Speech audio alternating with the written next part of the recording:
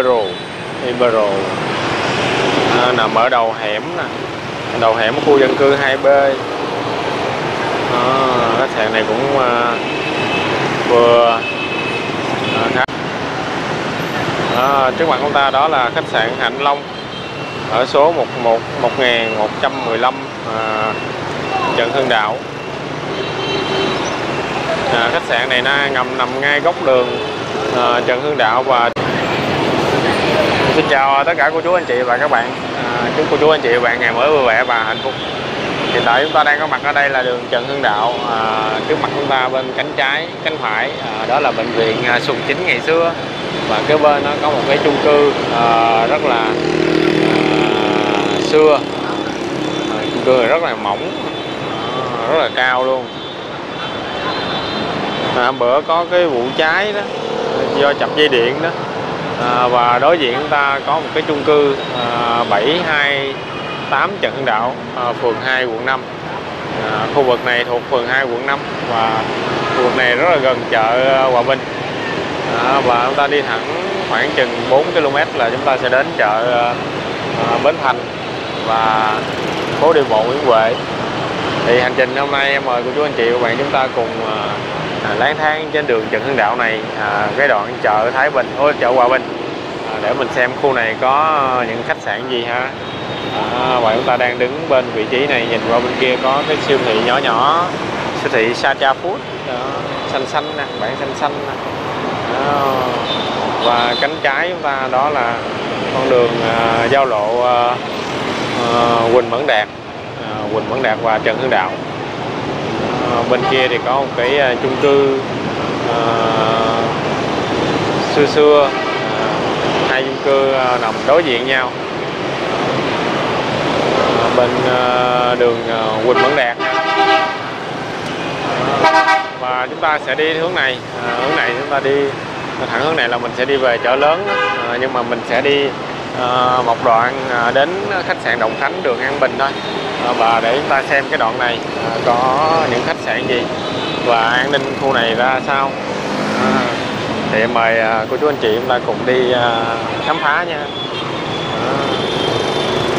À, và ngay vị trí à, em đang đứng đây cũng có một cái chung cư à, nhìn rất là xưa rồi.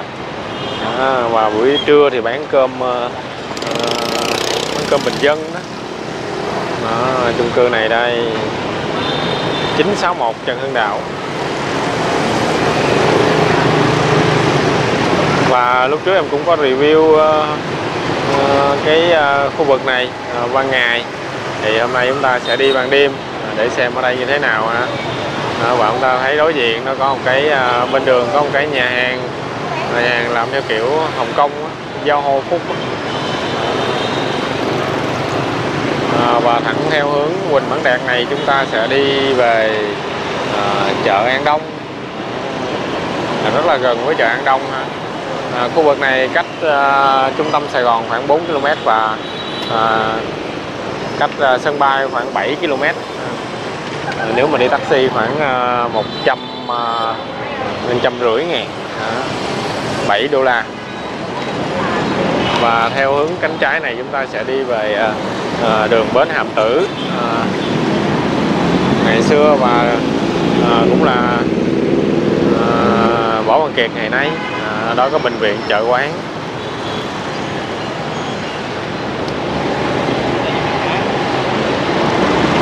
À, và chúng ta tiếp tục nhé. À, thì qua hàng loạt những cái địa điểm uh, khách sạn thì em cũng nhận được rất là nhiều cái comment uh, cũng như email của cô chú anh chị. À, thì à, à, em cũng sẽ à, sớm gửi những thông tin của khách sạn đó đến các anh chị để các anh chị có thể à, à, bút phòng. Hoặc là nếu các anh chị à, không có bút được thì em sẽ à, bút à, giúp cho các anh chị. Đương nhiên là uh, miễn phí không có tính tiền ha.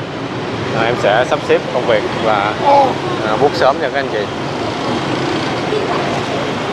à, chúng ta nhìn qua bên kia đó là dãy chung cư đó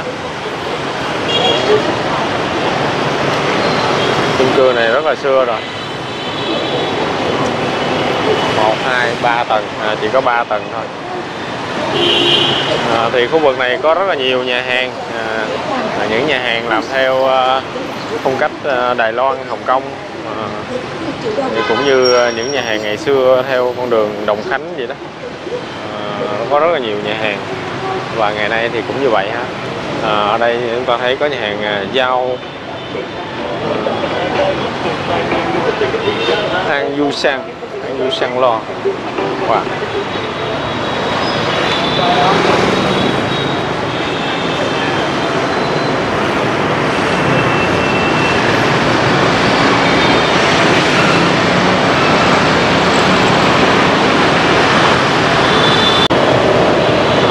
Em chúng ta thấy có cái à, trung tâm giải trí à, trung tâm văn hóa quận 5 nè.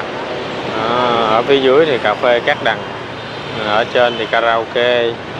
À. À, rất là lớn ở chỗ này mới sửa lại. À, 780 à, 780 à, Trần Hưng Đạo. À, ngày xưa cô chú anh chị comment đó là cái rạp Đồng Tháp đó. Kế bên cái chung cư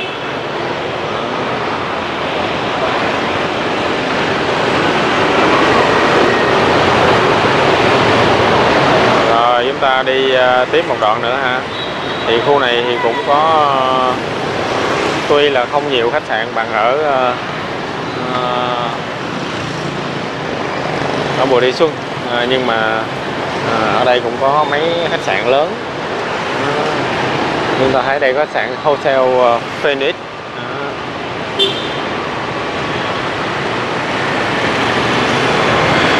à, về giá và địa chỉ thì chắc có lẽ em sẽ cập nhật lên màn hình à, để anh chị và các bạn à, nhìn rõ hơn. À.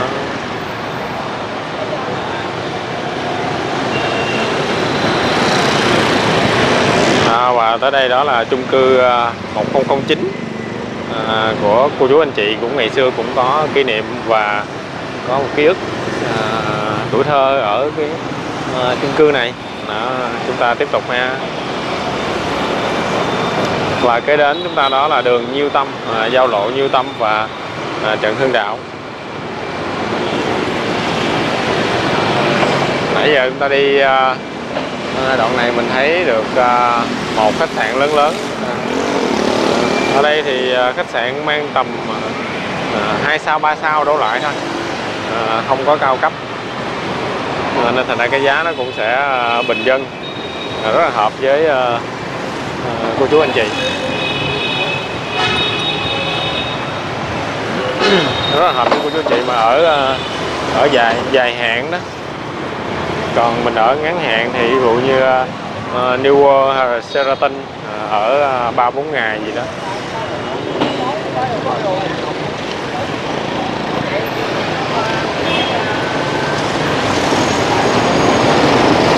Và đây là con đường Nhiêu Tâm chuyên bán những cái phụ liệu ờ, phụ liệu ngành vàng. À, thẳng hướng này mình sẽ ra chợ ờ, chợ Hòa Bình và và con đường Hàm Tử à, chuyên làm than đá nè. Chuyên bán than. À, chúng ta tiếp tục ha. À, mình đi tới tí nữa sẽ có khách sạn lớn thiệt lớn ở đây nè. À, và cuối cùng chúng ta sẽ dừng lại ở ngay khách sạn Đồng Khánh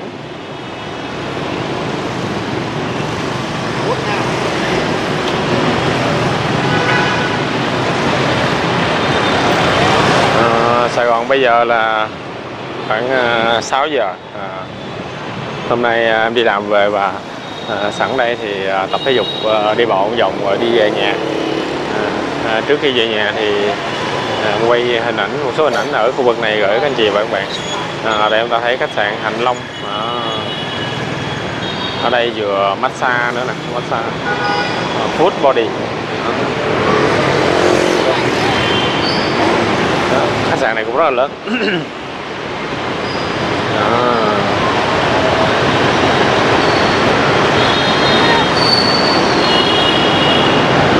ở uh, trên kia cũng có một cái nữa.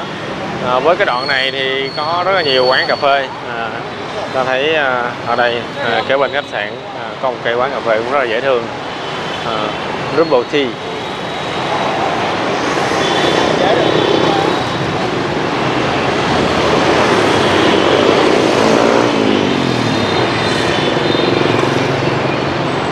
Và cái đoạn này cái vỉa hè cũng rất là lớn nhưng mà à, hơi bị lẫm chậm bị gô ghề à, đây có phổi lê à, phổi lê giống giống như phổi lệ.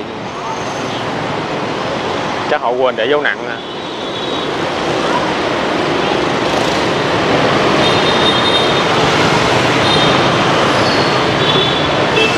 à, mình nhìn bên kia đó là con đường Bùi Hữu Nghĩa à, bữa chúng ta có đi qua rồi đó. Ờ, Đường Bùi Hữu Nghĩa về đêm nè. À, giao lộ Bùi Hữu Nghĩa và Trần Hưng Đạo. À, bên kia thì à, không có à, nhiều khách sạn như bên đây. À, ở cái đoạn này. À, vậy chúng ta đi tiếp một đoạn trên kia xem sao. Trên kia thì à, theo được biết thì cũng còn một khách sạn lớn. À, đó là khách sạn Hạnh Long ở đây khách sạn hành Long thì tương đối lớn. Ở đây cũng có cái chung cư ờ, cổ cổ xưa xưa nè. Ở trên thì bỏ quan nè. Ở dưới thì bán ờ, xôi lá chuối đó. Ở khu vực này em cũng có nhận ờ, nhiều comment của cô chú anh chị về những cái địa chỉ, những cái căn nhà xưa. Thì chắc lẽ xíu nữa mình sẽ có dịp sẽ đi ngang vô đó luôn ha. Ở đây có nhà này mới xây lại rất là đẹp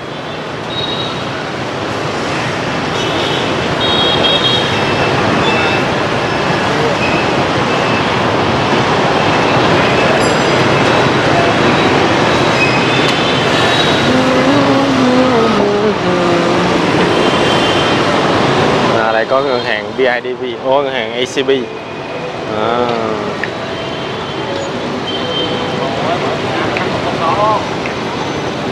À, cũng tiện như các anh chị các bạn à, giao dịch khi mà à, ở à, à, khách sạn gần đây ha.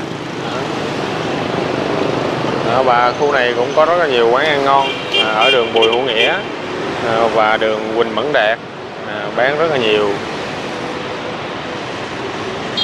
à, à, đây nhà hàng lẩu.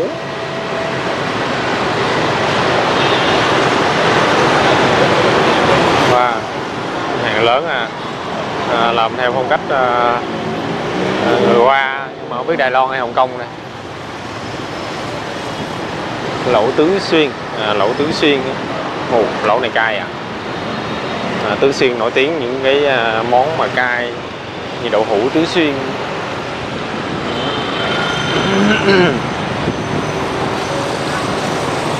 và chúng ta nhìn bên tay trái. À, có sạn à, Ibero. Ibero. À, nằm ở đầu hẻm nè. Đầu hẻm khu dân cư 2B à, khách sạn này cũng à, vừa à, khá là cao. Và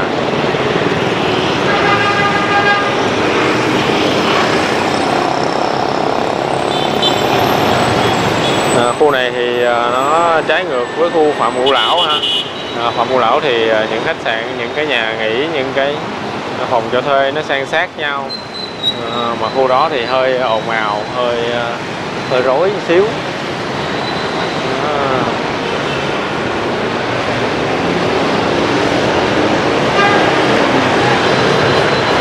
rồi chúng ta tiếp tục. Ừ, ở cái đoạn này thì có rất là nhiều quán cà phê. À, chiều chiều ở đây ngồi à, hóng mát à, à, rất là thích hợp.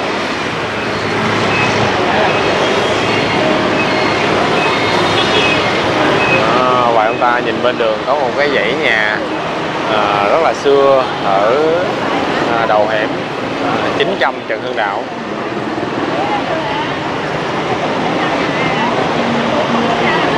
À, và ở đây có cái rạp ờ, rất là lớn.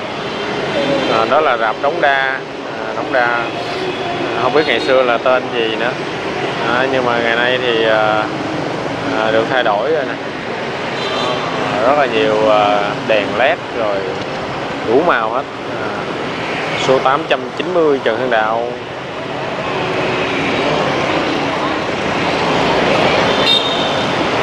và kế bên đó nó là một cái dãy nhà à, rất là xưa, cổ nè.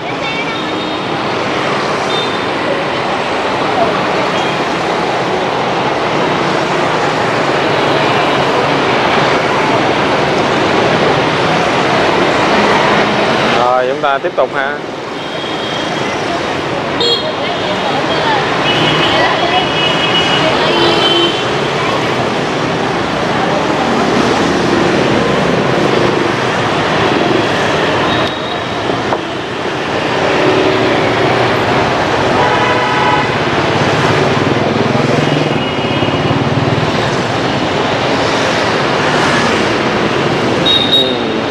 Bên dãy bên kia có rất là nhiều nhà hàng nè à, nhà hàng nhỏ nhỏ thôi.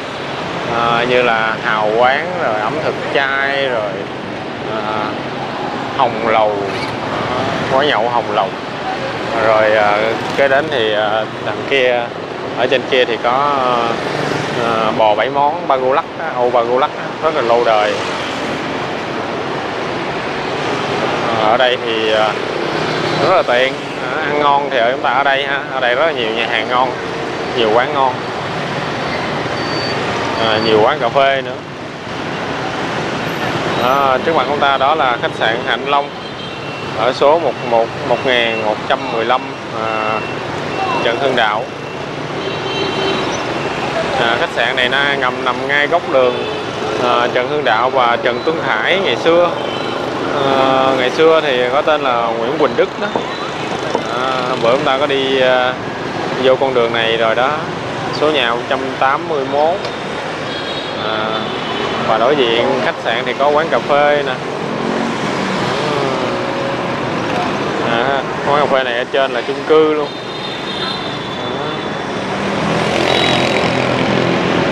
À, đây cũng là đầu đường Nguyễn Quỳnh Đức và à, Đồng Khánh năm xưa. À, chúng ta nhìn qua bên đường à, có mấy nhà hàng và nơi đó có khu dân cư. 2B à, hẻm hẻm à, 930 Trần Hưng Đạo. À, có những cái nhà hàng những quán ăn à, bên kia đường này người ta nói à, à, ăn quận 5 à, ở quận 3 chơi quận nhất à, là chúng ta đang à, à đi quận 5 để à, ở đây thì thích hợp à, những anh chị à, và các bạn à, tìm những món ăn ngon à, là ở khu vực này. À, mèo chúng ta qua đường nha. Tiếp tục. À, khách sạn ở đây thì không có mắc.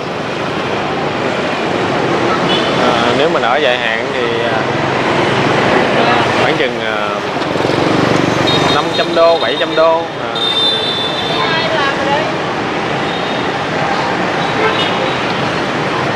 là một tháng 500 đô 700 đô là một tháng. À quên nữa bên đây còn một cái quán ngon nữa nè. À, đó là cơm gà Hải Nam nè. À, lúc trước em cũng có review rồi đó. À, các anh chị các bạn có thể xem lại ha. À, 934 Trần Hưng Đạo à, quán cơm gà Hải Nam. Hải Nam ở đây thì à, khác với Hải Nam ở à, à, Nguyễn Tri Phương.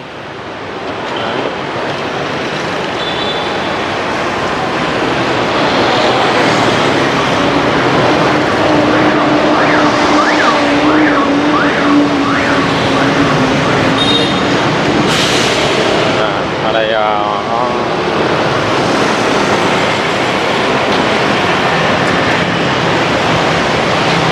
à, ở đây có khách sạn lớn thiệt lớn. Nè. à, for for Forger uh, à, Forger Restaurant and Hotel and Bar. À.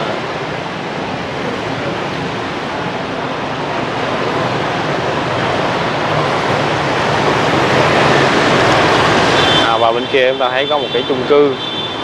À, chung cư rất là xưa rồi ngồi đi đường này anh chị quay qua quay lại à, à chắc chóng mặt đây. À, tại vì có rất là nhiều cái để chúng ta nhìn. À, nên thành ra bà con à, thông cảm ha.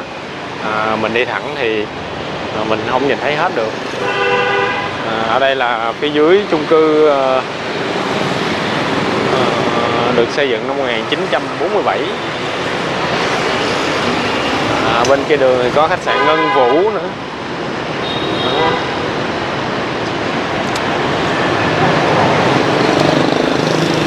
Đó, và chúng ta đi một đoạn nữa là sẽ đến cái à, đến con đường à, An Bình à, giao lộ An Bình và Trần Hương Đạo à, đường An Bình thì hôm bữa mình có đi à, về đêm rồi đó à, thì con đường đó à, nổi tiếng bán à, những cái à, cẩm thạch là đá cẩm thạch những cái sâu chuỗi những cái vòng đeo tay à, đá cẩm thạch đó. Ờ, với con đường đó thì không có nhiều khách sạn chỉ có khách sạn ờ, ờ, Đồng Khánh nằm trên đường Đồng Khánh giao với An Bình thôi. Và video ngày hôm nay à, chắc à, em xin tạm dừng tại đây.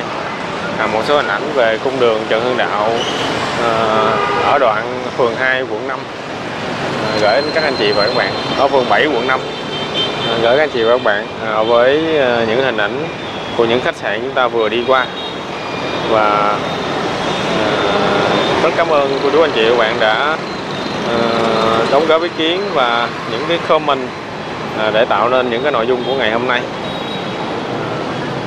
Rồi bây giờ thì xin chào và hẹn gặp lại.